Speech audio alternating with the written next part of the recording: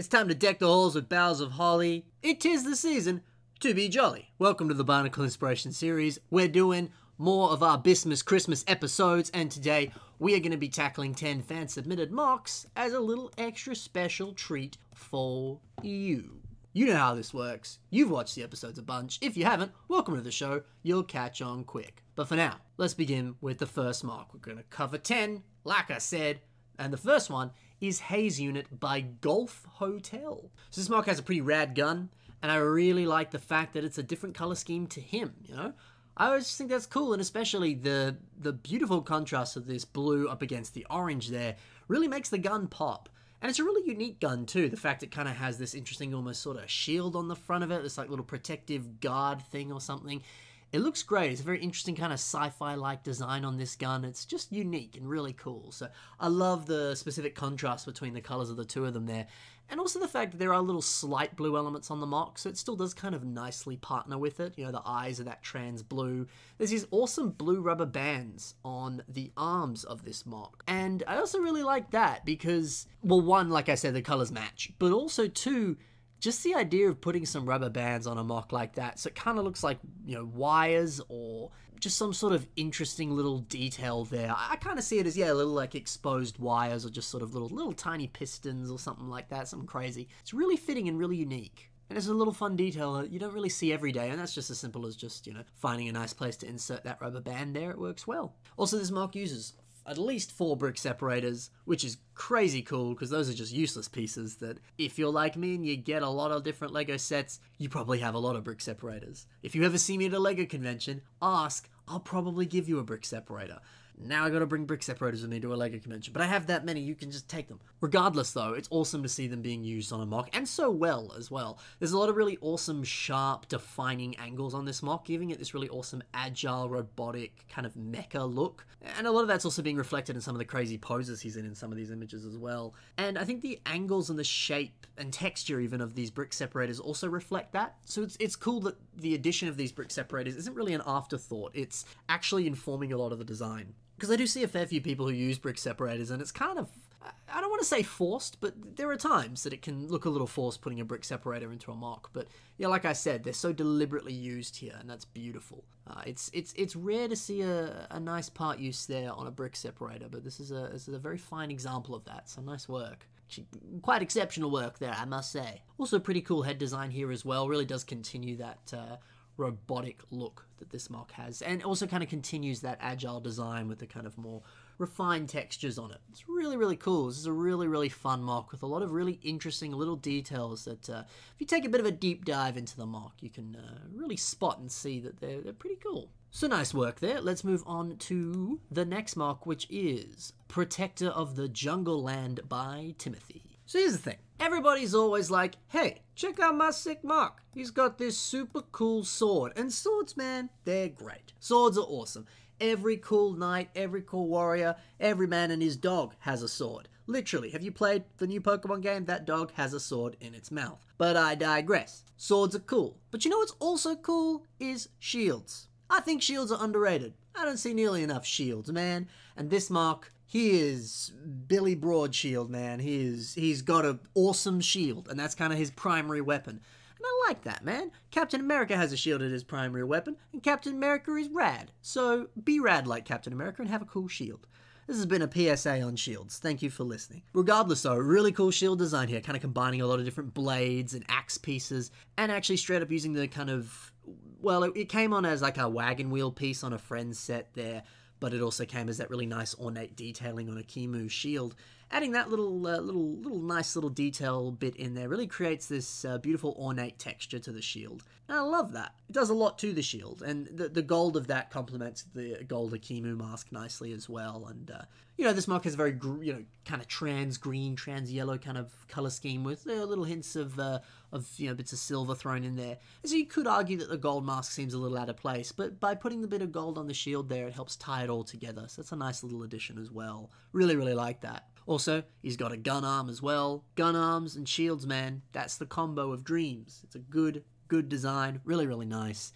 Also, Timothy here, he's a bit of a younger builder when he sent in his submission. I don't have the email up in front of me, so I apologize that I can't get my facts exactly right, This is another one of our younger builders here who might be a little bit more new to Bionicle, and that's awesome to see that even at a younger age here, when Bionicle is not a thing you can buy in stores, we still got some younger builders there getting heavily into the Bionicle. That is awesome. So good job, buddy. You've made a really cool mock with some great little additions here. Very nicely done. The next mock we've got is Regar by Damon Elsley, eh, Ems, Emsly, David Emsly. I really wish I didn't show the names on the slides because then I could just be like, by Damon, and you'd be like, that was probably correct. And I'd be like, yeah, it was. But you see it in front of you, so you know how terrible I am at pronouncing things. Of course, I apologize if I pronounce your name wrong. I'm doing the best I can. That's all that anybody can ask for is if you're doing the best you can. Besides the point, though, this is a cool mock by Mr. Damon. And again, I'm going to give you another PSA here. Public safety announcement, public public mocking announcement. A, a PMA, if you will. There's a big issue with mocks these days. Do you want to know what that big issue is? It's something that many mocks, probably about 99% of the mocks I see, lack. Do you want to know what that is? Mustaches, or any form of facial hair. And this mock has a mighty fine mustache of trans orange little, uh, little bit of a handlebar mustache there, kind of just flowing out of his beautiful skull spider face there. And that's super rad. That's super, super cool. You might be like, Ben, those are fangs. But I'd be like, uh uh uh, it's a mustache. I can see with my own two eyes. They're probably fangs. But regardless, I like to think it's a mustache. And he looks mighty fine with it especially that it's a trans orange mustache. If I had a mustache, I would make it trans orange. Of course I would. What a great idea. So really, really cool. I also really like what's going on with the torso of this mock here. It's using that Onua big old torso piece. And I've I've been on record before, I have said in many an episode, that I dislike that piece. It is a big, bulky part, and it's hard to use. Unless you're building some big old Titan guy, it's just, it's just, you're gonna have a hard time. But this mock actually uses it quite well. I especially love how he's kind of partnered it with those really big, bulky kind of shoulder pieces there. They're in gunmetal there, they're a little bit more spikier. They came on pretty much every one of the Skull Villain sets from Bionicle G2.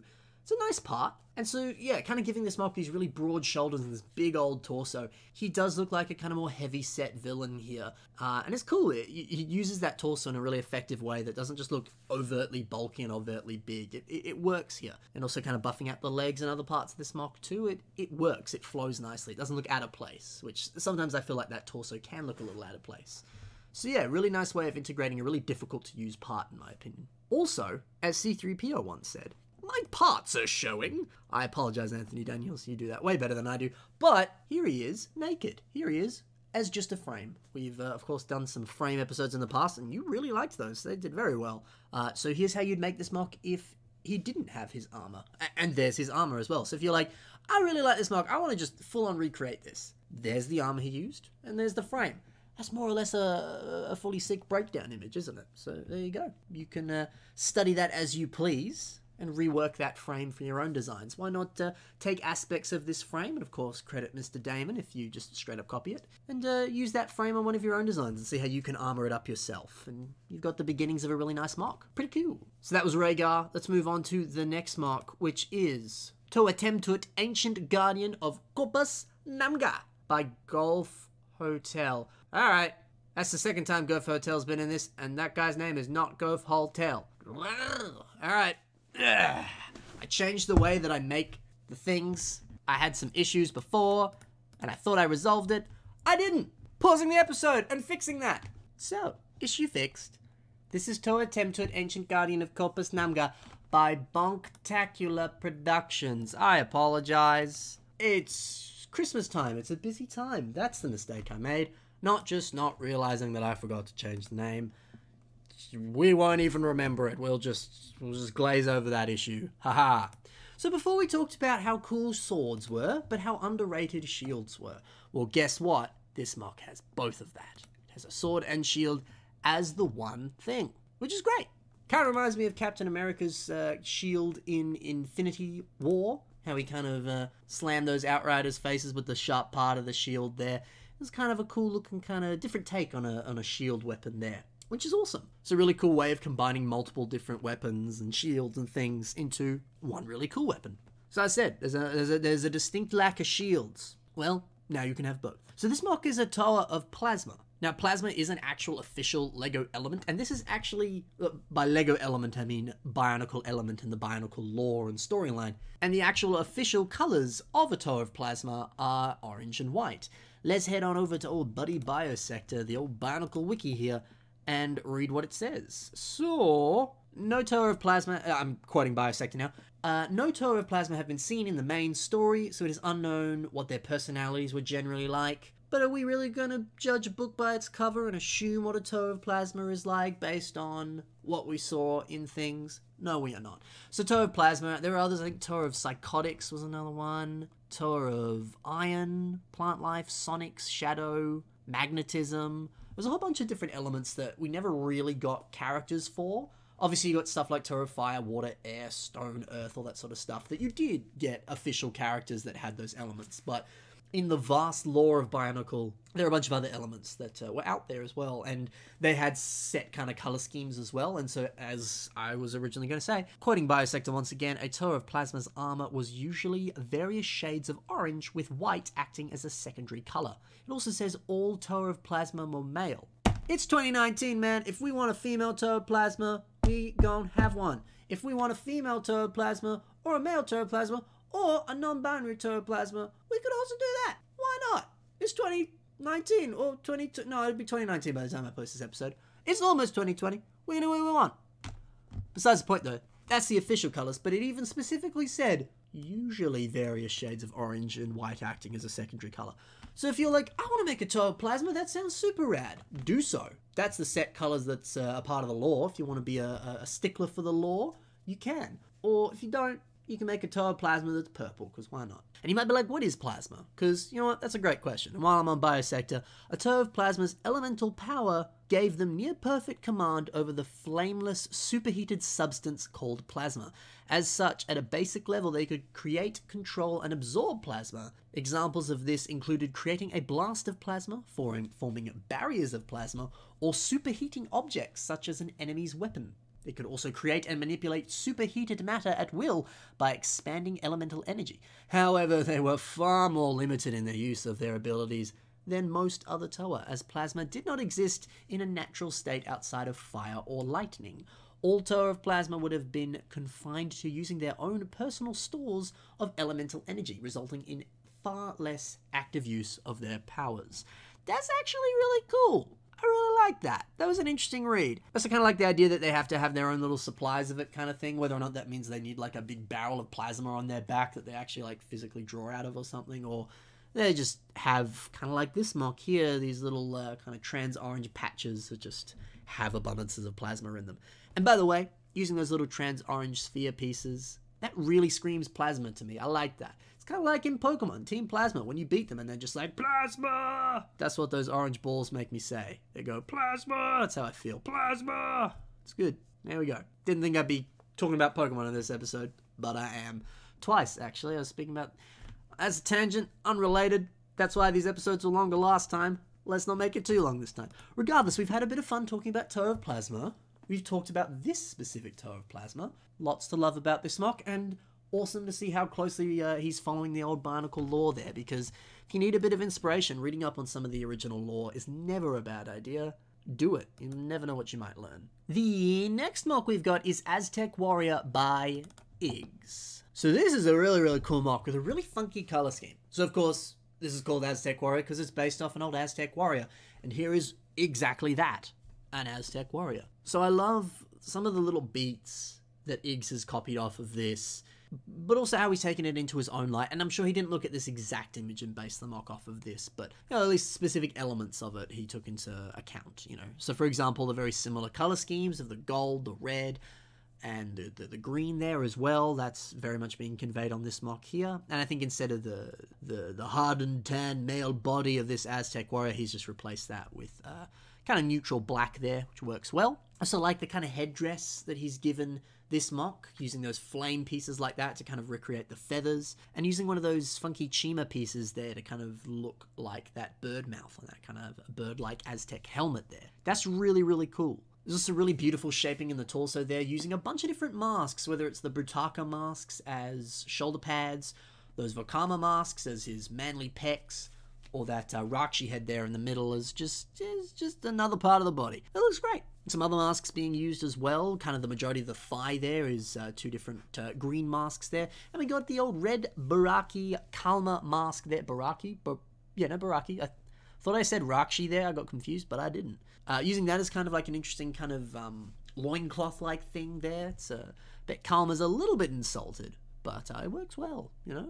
I don't think I'd want my mask being used as crotch armor, but uh, it works well here. I also like the kind of slightly different addition uh, with the weapons here, giving him these really interesting kind of claw-like uh, weapons on his hands there. Uh, I mean, I'm looking at one image of an Aztec warrior. If, if I was building an Aztec warrior, I'd look at like maybe, I don't know, 20 different images of them or something. Um, here he's got a, a, a, a shield and a spear, which is great.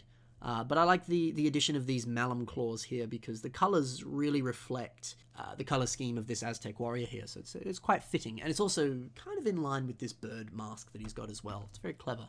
So a lot going on here, a lot to love. Uh, really, really nice attention to shaping using a bunch of different masks, and really nice attention to the color scheme here, which matches the source material. So nice work. Awesome. I, it always blows me away, colors, how uh, how much you can uh, really make a nice mock when you uh, when you play your colors right. Onto another nice mock. This is Gremlin King by Caedrin Lance. So you just got to say the name with conviction, and everyone thinks you get it right. But then there's those people, much like Mr. Lance, who are like, "That was wrong, Cossy. What are you saying?" And I did the best I could. I'm sorry, Caden. Kate, Kate, uh, Mr. Lance, Gremlin King. What a great mock. But like legit, it's a really really cool mock. When I first saw the submission, when I was just grabbing the ten submissions from my emails, I I kind of chuckled because I was like, this guy's super cool and super cute. I love his big old goofy ears and his big big old eyes. Kind of reminds me of something else from pop culture right now. Um, very very cute. I also love the fact that a lot of that is just simply connected with a rubber band there. Uh, it's, it's a bit more of a simple and easy connection, and you would argue that that's illegal. Yeah, you probably could say that. But, or non purist, you know, whatever term you want to use, whichever one's the correct term to use, ah, who cares? It looks cool. And it's a really clever way of achieving a design if you can't find the connection points for it. Lego does have official rubber bands. You could argue that that is entirely legal and purist and all those words. So maybe it's something to, to think about because you know, the entire bit of this head is just attached around that one tire with those rubber bands. It works well. And using those wings as big old ears, I like that. It's nicely done. Also like the little printed elements on this guy's feet here. Just an interesting way of adding a little bit of a pop of uh, detail or color there. It's, it's clever. So yeah, really nice head design and these little claws as well. It really helps to create this uh, cute little gremlin. It's very effective. Nicely done.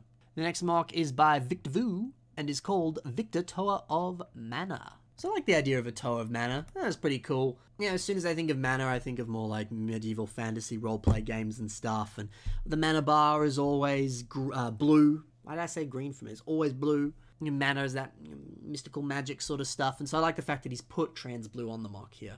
And the fact that the rest of the mock is this silver or gunmetal. That's also quite fitting because, again, it reminds me of medieval fantasy like armor, that sort of stuff. So I think it's a, a really uh, good choice of colors to reflect a, a Toa of mana. You know, it's, not a concept I've heard before, unless you're like, um, Cossy, if you refer to episode 123 of the Bionicle Inspiration series, you'll see that there was a Toa of Mana there. So in fact, you have heard that name before. All right, all right, all right, whatever. But still, it's a new concept, isn't it? At least to me right now. And I think this is a pretty fitting color scheme for a Toa of Mana. I like the wings on his head here. Kind of reminds me of Thor's helmet doesn't really have a helmet in the MCU, but in comics and stuff, um, he does have those sort of funky feathers coming out. That's a fun little addition there, uh, and works well just simply using those Chima wing minifigure pieces there and attaching them onto the back of the mask there. It works well, and it's just a, an interesting way of kind of doing something else to the mask, just making it look a bit more unique. The hand design here is also pretty cool. It's just a, a, subtle, slight addition to the typical like T-bar piece and finger design that like Hydraxon had and a lot of different mocks have. Um, so it's simply just using one of the Technic brick pieces, the 1x2 Technic brick pieces, uh, adding in one of those 1x2 modified plates with the little bars on the side, and then attaching those Exoforce bad guy robot arm finger pieces onto that. And then that way you can, like this, add the studs on it and kind of find other little system additions that you can add onto those wrists and not not the wrists, that's the wrong word. Right, uh, add on to those knuckles, fingers, any other part of the hand there, and just detail it up a little bit. Kind of uh, looks like a little bit more of an extension of the armor, uh, just a little bit more sort of uh, sharp, rougher knuckles there. It's pretty cool. It looks really good. It's a slight change to the hand design there, but works really well and you can add stuff to it. It's good. The next mock we've got is Kori Toa of Ice by Brickway Studios. So in the email, he said that Kori, or Kori, he has a little little line above the O there. So Kori, I don't know how you I don't know how that changes the pronunciation. It just does. It's, Kori. Kori is an artificial intelligence android. And I like that. Just, just, just a fun little backstory bit, but also the mask choice for that. So you got Stormers, the original Stormer mask there, and you flip it upside down, and you get this interesting kind of these two interesting lines that almost look a bit like eyes. It's a really interesting way of uh, adapting that mask there.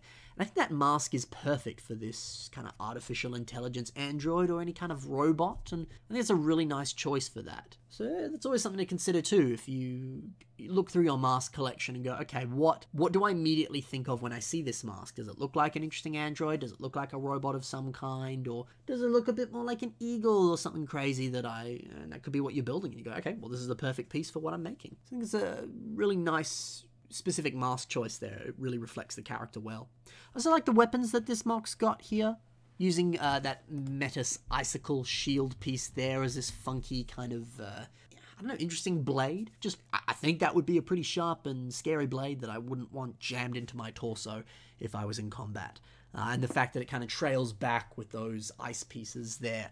It's a cool looking weapon and a, great way of playing with those different ice pieces. There's a lot of different ice pieces you can play with here. There's only two of them, but there's a heaps more. Uh, there's like Strakk's Axe, there's Gelu's weapons. There's also Strax's weird icicle shoulder pieces. There's all sorts of different ice pieces you could play with, whether they're weapons or just ice pieces in general. So uh, definitely, if you want to play around with some funky weapons that really fit with an element, uh, take a look at some ice stuff. It's uh, it's right up your market. So there's some cool stuff going on here.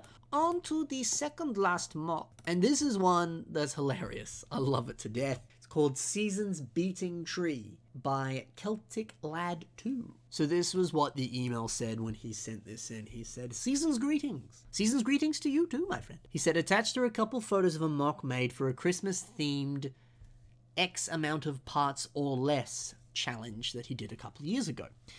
This mock is called Seasons Beatings, and it is uh, a Seasons Beating Tree, and he ironically shouts Timber as he cuts down his foes in a never ending bloodlust for revenge. So the idea that people sing carols in front of the Christmas tree and then you know they meet their friends and they're like, "Oh, season's greetings, season's greetings," and this tree the whole time is like, "No, it's season's beatings, and I'm going to kill you." And the the the, the tree comes to life, grabs the axe that cut it down, and goes on a never-ending bloodlust for revenge. Terrifying, horrific, R-rated movie stuff here but hilarious. and a very great play on the term season's greetings, which is what you'll say it's a holiday season. It's great. I like that a lot. It's very, very funny. And all in jest, of course. Uh, it's good. That's the perfect thing to do, you know? It's Christmas time. Why not make a funny little pun mock like this, or a funny little joke mock, or something related to Christmas? I have done Christmas episodes on the Bionicle Inspiration series before in the past, uh, and they've been good fun. There's all sorts of different interesting Christmas themed mocks out there. Why not make some yourself? And maybe give that Christmas episode a watch too. I'll see if I can put that in the cards at the end of this video. If not, I'll just post it in the little community tab, just as a, little refresher there. So that's cool. Why not make a Christmas mock of your own, much like this? The final mock we've got today. This is by Morningstar Mocks and is called Phektum. Something like that. This mock is super cool. Again, the little description in the email here said that he is an architect and overseer of the Cosmic Web. Now, he wrote Comic Web. I'm going to assume that's Cosmic Web. So he's an architect and overseer of the Cosmic Web. Or Comic Web. Oh, could be either. Uh, and this comic slash Cosmic Web is a system of interconnected wormholes spanning throughout the cosmos. Pretty cool. And I think quite honestly, through the color choices on this mock and the weird general shapes and style and frame of this mock, I 100% see that. This looks like some funky, crazy god from another universe, and that's exactly what it is. So that's rad. So the colors that he's used here, the black, the gold, this regal dark blue, this trans purple, this trans pink, it looks very godlike. You know, these trans colors give it this ethereal, space-like, otherworldly quality. Uh, the, the the black and the gold really resembles like Anubis or any sort of interesting like Egyptian god. The really long neck that he's got, these longer limbs, these funky shaped legs. Even the fact that he's got like four arms as well, he looks out there, godlike, and just just different. Like he's unhuman. He's from another world, you know? There's a lot going on there that really effectively communicates that. I love that. Another thing that I think is super cool, I've not really seen it before, is this weapon. The fact that he's used a bunch of these one by one trans purple bricks here and then kind of uh, change the orientation of them, and also too how I believe it's a little little bit of flex tube there, how it kind of just darts off a little bit. There's a little bit of a bend in it, and there's this funky level of distortion with this weapon, kind of like he is traveling between worlds, and the, the the bounds of reality are shifting. I love that. I love the distortion in the weapon there. It's so unique and so I don't know, it gives you this sense that he has some really crazy, scary cosmic power that he can, uh, you know, change the very fabric of the universe or something like that. And that's just simply through little slight additions like a bit of a bendy flex tube and some bending of some bricks. That is awesome. Uh, really, really, really cool way of doing a weapon there. It may not be a shield, but it's still pretty cool. So I like that a lot. There's a lot I love about this actually. A really, really unique and different mock with uh, some really, really uh, clever stuff that's being communicated on here. It's awesome to see. And speaking of things that are awesome to see, we've seen some fantastic mocks in this episode of the Bionicle Inspiration series. So, of course, I've had so many submissions because I decided to do Abysmus Christmas, and my whole aim was to go through a bunch so I'd have covered more. But you guys have submitted so much that it kind of defeated the purpose. But eh, who cares? This was still fun anyway. But hey, don't let that discourage you. Still, you can submit some mocks to the show if you so please. How can you do so? Through the email you're currently seeing on your screen. Send me some pictures, any other information you feel is important about the mock, send it to that email, and you'll be good. You'll be uh, in the draw to be on the show at some point in time. That uh, email address is also in the description as well if you want to copy paste that. Also in the description are the links to today's mocks. Some of them didn't have links because they just sent it to the uh, email. They didn't actually have a, a, place that they've posted it. But a whole bunch of them do have places that they've posted it where you could leave some love on their content, give them a follow, all that sort of stuff. Be sure to do that. And also, while you're there, you can find links to some of my social media like my Instagram, my Facebook, my Patreon, my Flickr, my Facebook, all sorts of stuff. On my Instagram, I post all sorts of other cool Lego content. And yes, I might even post pictures of shields minifigures holding shields, or shield from Avengers. All the different types of shields. Hashtag put some shields in your bionicle. That's way too long a hashtag. I know, I am making some hashtag. Just make some shields. And while you're at it, make some mocks. I hope we inspired you today. Happy watching, happy building, happy Christmas. See you in the next episode, guys. Bye for now.